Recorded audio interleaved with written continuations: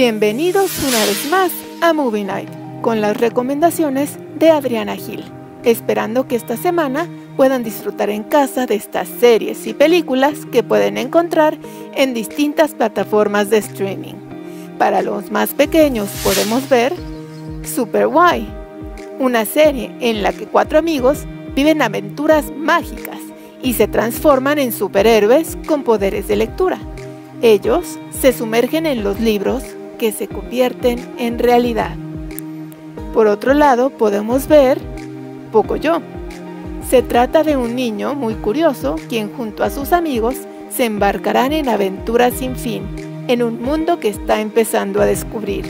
Una serie de animación 3D orientada a los niños de edad preescolar y que se caracteriza por sus mensajes educativos y pedagógicos.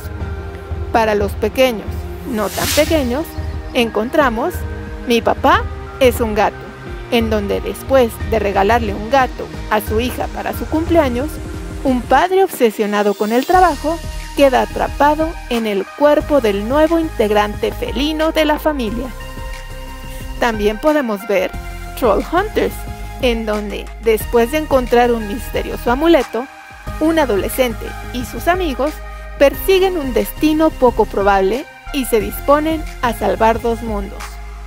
Para los adolescentes encontramos La estafa maestra.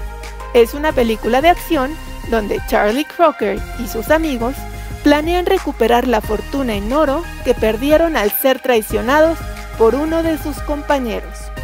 También encontramos Awake, una serie en donde tras 24 horas sin dormir, los concursantes en este programa de juegos y comedia trastabillan a través de retos excéntricos y cotidianos para ganar un millón de dólares.